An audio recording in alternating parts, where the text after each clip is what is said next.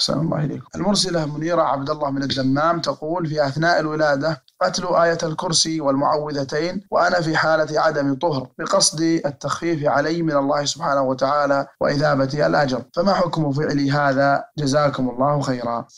هذا موضع خلاف لأن المرأة الحائض والنفساء اختلف العلماء هل يجوز لها أن تقرأ القرآن؟ لأن مدة الحيض والنفاس يطولان عليها فإذا منعت من القرآن تضررت. ولأنه لم يرد دليل صحيح دليل صحيح في منع الحائض والنفساء من تلاوة القرآن. وإنما هذا خاص بحال الجنابة خاص بحال الجنابة. هو الذي ورد المنع للجنب أن يقرأ شيئا من القرآن. كان النبي صلى الله عليه وسلم لا يحجبه عن القرآن إلا الجنابة.